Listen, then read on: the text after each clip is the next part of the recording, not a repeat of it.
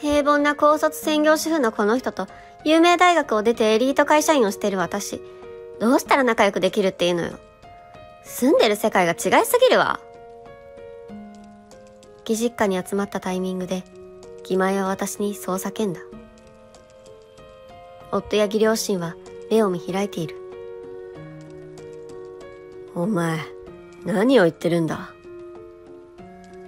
この際だから言わせてもらいますけどね。お兄ちゃん、この人と結婚したのは間違いよ。え？専業主婦なんて聞こえはいいけど、要するに、夫のすねかじりってことでしょ？すねかじりのババアなんて養う必要ないわよ。さっさと離婚しなさいよ。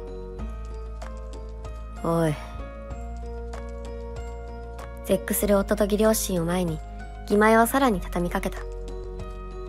大体、今時考察なんてありえない。ほんと近づかないでほしいわ。バカが映っちゃ困るもの。わめき散らして満足げな義前に、夫がぽつりとつぶやいた。お前、まさか知らないのか？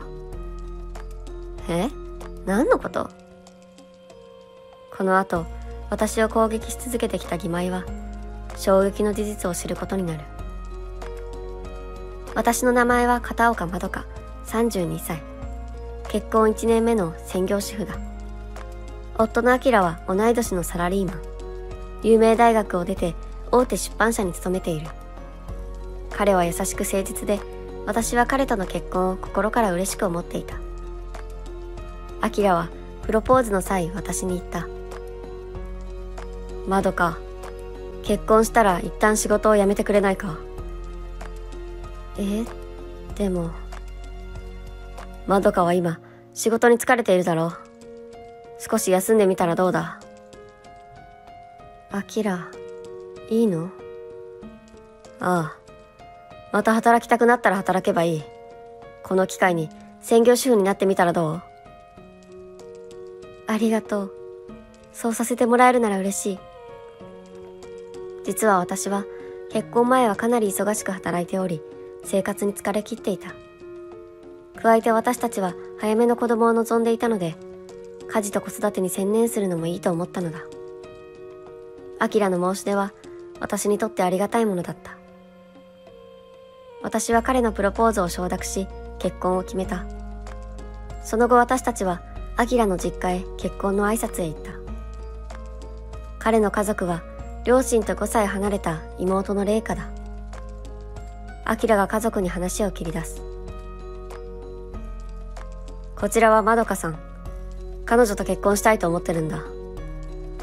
アキラの両親は大喜びで結婚に賛成し、私を迎えてくれた。そんな中、面白くなさそうな顔をしている人物が一人いる。義妹の麗華だ。ふーん。お兄ちゃん結婚するの？まどかさんって言ったっけ？は、はい。まどかさんはどこの大学を出てるの？あ、実は大学は家庭の事情で中退しているんです。これは事実だった。大学2年生の時に父が亡くなり、それがきっかけで母が体調を崩して入院してしまったのだ。母の看病をするために私は大学を中退している。今では母もすっかり元気になっているが、私が大学を出ていないのは事実だ。はあ？中退？ってことは、考察ってことじゃない。義妹は大げさにのけぞった。ええ、そうなりますが。おい、そんなの今関係ないだろ。アキラが注意するも、義妹は止まらない。あのね、うちのパパとお兄ちゃんは日本屈指の名門大学を出てるの。ママは有名女子大出身だし、私も同じところを卒業したわ。うちはいわばエリート家族なのよ。は、はあ。それなのに、高卒が家族になるなんて、ちょっとどうかと思うわ。麗華、もうやめろよ。夫と義両親が止めるも、今井は不機嫌な顔になって続ける。それで、まどかさんは結婚しても働くんでしょうね。いえ、アキラさんと話し合って専業主婦になることに決めました。はあ？専業主婦？またまた義前は大声を出した。今時専業主婦なんて信じられない。女性の社会進出が叫ばれてる。今の時代に？え、えっと、私みたいに一流企業で誇りを持って働いてたら専業主婦になろうだなんて思わないわよ。腰掛けくらいの気持ちで働いてきたんじゃないの？もうやめろ。俺たちの選択に口を出される筋合いはない。アキラが土器をはらんだ声で告げ、続けて岐阜がたしなめた。麗華、それ以上何も言うな。まどかさん、すみません。私たちはアキラとあなたの結婚に賛成していますし、幸せになってほしいと思っています。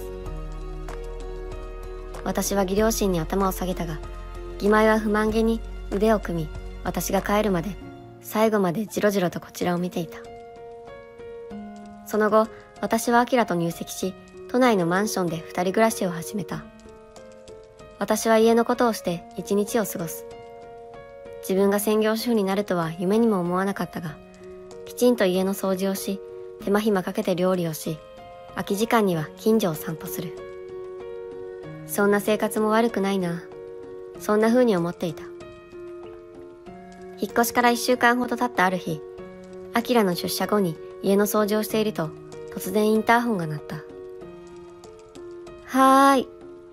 え？レイカさん？インターホンの画面を見て驚いてしまった。そこには、義妹が一人で立っていたのだ。引っ越し祝いを持ってきたのよ。開けて。は、はい。ドアを開けると、義妹は有無を言わさず我が家に入り込んできた。へえ、いいところじゃない。立地もいいし、家の中も広いし。義妹は部屋の中を見渡し、そんなことを言った。ねえ、このマンション賃貸？それとも買ったの？えっと、結婚と同時に購入したものですが。へえ、さすがお兄ちゃん。稼いでるだけあるわね。義前は私に安い菓子折りを押し付けると、勝手に家の中を歩き回った。あ、あの、麗華さん、今日はお仕事は？ああ、有給よ、有給。あんたには関係ないでしょ。義前は勝手に各部屋のドアを開け、じろじろと見て回っている。私はおろおろとそれについていくだけだった。書斎に入り込んだ義前は部屋を眺め回してつぶやいた。さすがお兄ちゃん、本の量が半端ないわ。出版社に勤めているだけのことはあるわね。あ、それ、大部分が私のものなんです。はあ？そういう嘘つかなくていいから。専業主婦なんて、どうせ料理雑誌くらいしか読まないでしょ？え？私を無視して義前は部屋を出ると、次にクローゼットルームへ乗り込んだ。ちょっとレイカさん、それ以上は。いいじゃない、ちょっと見るくらい。クローゼットに入り込んだ義前は、じろじろと周囲を眺め回したかと思うと、すっとんきょうな声を上げた。ちょっとこれ何？高級ブランドの靴にバッグに。あ、それ、私のです。いざという時のために揃えてて。見りゃわかるわよ。あんた、とんだ金食い飯ね。え？働いてないくせにお兄ちゃんにこんなものまで買わせて。申し訳ないと思わないの？えっとそれは自分で買ったもので。嘘はやめなさいってば。この高そうなスーツだってあんたいつ着るっていうのよ。義前は憤慨したような表情でスーツや高級パンプスを手に取っているえ？何するんですか？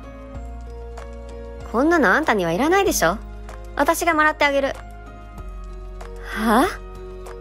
専業主婦にはもったいないでしょ？こういうのは私みたいにバリバリ働いているキャリアウーマンが使ってこそなのよ。そんな、困ります。やめてください。うるさいって言ってるでしょ？どうせお兄ちゃんに買ってもらったくせに。義前は両手いっぱいに衣類や靴やバッグを抱えると、そのまま玄関から出て行ってしまった。私は荒らされたクローゼットに一人佇むことしかできなかった。仕事から帰ってきたアキラに私は義妹の件を言えなかった。この頃はまだ義妹とうまくやっていきたい気持ちが強かったからだ。しかしその後も義妹の私への攻撃は続いた。義家族と共に夫のいとこの結婚式に参列した時のこと。夫のいとこは医療機器メーカー勤務で、婿となる人は医師だ。二人は有名大学の医学部在学中に知り合った。司会者がそんな紹介をし、私たちが拍手を送っていると、義妹が私に耳打ちした。聞いた？夫婦ともに医学部だってさ。え、ええ、今ので聞きましたが。うちの一族はこういうエリートばかりなのよ。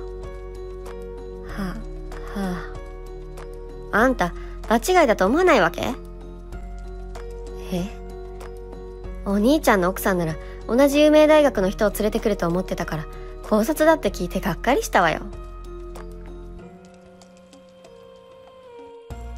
私が何も言えないでいると義妹は危機として続けた。ここにいる親族みんな思ってるわよ。あんたは場違いでお兄ちゃんは外れの嫁をつかまされたって。ほんと恥ずかしい嫁そこまで言われたところで私は席を立った。会場の外で涙を拭っているとそこへアキラがやってきた。おいまどか。どうかしたのか？うん。ちょっとコンタクトがずれただけ。私はとっさにそう答えた。今井の言葉が頭の中を駆け巡り恥ずかしい気持ちでいっぱいになる。私が大学を中退しているのもアキラの一家がエリート揃いなのも事実。アキラ先に戻ってて。ああわかった。無理はするなよ。アキラは心配そうに式場へと戻っていった。少し落ち着いたら私も戻らなきゃ。そう思っていた矢先背後から義妹の声が響いた。何よ？事実を言われたからってメソメソして。お兄ちゃんに告げ口してないでしょうね。麗華さん。すると義妹は私に向けて指をさした。高卒で専業主婦のあんたを私は家族だなんて認めない。そんな。エリートの私からしたらあんたなんて虫図が走るのよ。これ以上言われたくなかったらさっさと出ていくことね。そんな出ていくだなんて。いっちゃ前に口答えしてるんじゃないわよ。悔しかったら有名大学にでも入って一流企業で稼いでみな。それすらできないくせにいつまでも寄生虫やってるんじゃないわよ。き寄生虫？へえ。あんたは立派な寄生虫よ。それを自覚して生きることね。今井は言いたいだけ言うと満足そうにその場を後にした。よく見ると彼女は私から奪ったハイヒールを履いていた。その日の帰り道私はアキラに問いかけた。ねえアキラ。私あなたの妻でいいのかしら？はあ？いきなり何を言い出すんだよ。アキラは心底驚いたような表情で私を見ている。だって私私すると彼はふっと優しい表情になり涙ぐむ私の頭を撫でた。何を気にしてるのか知らないがまどかは俺の自慢の嫁さんだ。これからもずっと一緒にいたいと思ってる。これじゃ足りない？うん。アキラありがとう。アキラの気持ちが嬉しくなり私は差し出された温かい手をぎゅっと握りしめた。それから数日後義両親に義実家へと呼ばれた。岐阜の還暦祝いをするのだという。私は岐阜への祝いの品を用意した。義実家へ到着すると、義両親が優しく出迎えてくれた。リビングでは、義妹がソファーに座って読書をしていた。アキラはトイレに行ってしまったので、私は仕方なく義妹の正面に腰を下ろした。何も話しかけないのも気まずいので、私は義妹に恐る恐る声をかけた。玲香さん、こんにちは。読書されて？いるんですかはああんた、来たんだ。は、はい。読書ならして？たわよ。純文学の受賞作をね。あんた、純文学って？知って？るはい。一応は、私も読みますし。へえ、学がないのに知ったかぶっちゃって？私の高尚な趣味に話を合わせようったって、そうはいかないわよ。義妹は鼻で笑い、本を閉じてそれをテーブルの上に置いた。周囲に誰もいないことを確認した後、低い声でこう告げる。あんた、まだ出て行ってなかったの？あんなに言ってやったのに。えっと、私が口ごもっていると、義妹は大げさにため息をついた。そこに、アキラが戻ってくる。おう、二人で話してたのか。仲良くなったか嬉しそうに言うアキラに、義妹がふんと鼻を鳴らした。仲良く？そんなのできるわけないでしょは？あのね、平凡な高卒専業主婦のこの人と、有名大学を出てエリート会社員をしてる私、どうしたら仲良くできるっていうのよ。住んでる世界が違いすぎるわ。レイカ、何を言ってるんだ。アキラはうろたえ、両親も何事かとこちらを見ている。しかし、義妹は止まらなかった。この際だから言わせてもらいますけどね。お兄ちゃん、この人と結婚したのは間違いよ。え？専業主婦なんて聞こえはいいけど、要は、夫のすねかじりってことでしょ？すねかじりのババアなんて養う必要ない。さっさと離婚しなさいよ。おい。絶句する夫と義両親を前に、義前はさらに畳みかけた。だいたい、今時考察なんてありえないのよ。ほんと近づかないでほしいわ。バカが映っちゃ困るもの。わめき散らして満足げな義前に、夫がぷつりとつぶやく。お前、まさか知らないのか？え？義前は、アキラの言葉に不思議そうな表情を作った。知らないのかって何が？十分知ってるわよ。この人が高卒のおバカさんで、社会のお荷物の専業主婦だってことくらいね。すねかじりに、おバカさん？お前、まどかのことを本気でそう思ってるのか？アキラが大声を出すと同時に、義母が真っ青な顔で口を開いた。アキラあなた、レイカに言ってなかったのね。まどかさんのこと。アキラは驚いた顔で義母の方を見た。え？てっきり母さんたちが伝えてるのかと。いいえ、あなたたちがとっくに言ってるんだと思ってたわ。ちょっと、何なのよ青い顔で話し合うアキラと義母を、義妹の大きな声が遮った。さっきから言っただの言わないだの。何の話をしてるのよ。おい、レイカ。まどかは有名な小説家だ。は義妹は一瞬あっけに取られた後、ケタケタと笑い出した。な、何言ってるのよお兄ちゃん。いきなりそんなすっとんきょうなこと。っていうか、その本、お前のだよな。